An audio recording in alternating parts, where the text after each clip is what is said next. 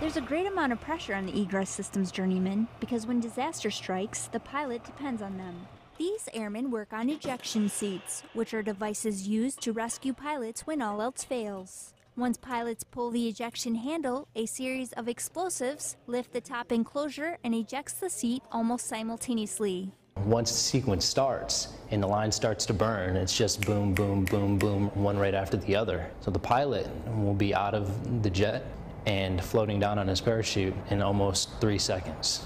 Journeymen must have an exceptionally meticulous nature. Any negligent move on their part could mean disaster for the pilot. What makes egress so critically important is that we can't test fire any of our components. When we install a seat canopy back onto the jet, we're pretty much telling that pilot, you know, you're coming home alive. At my last base, we actually had an incident where one of our jets went down. Uh, the pilot lost communications in the sky.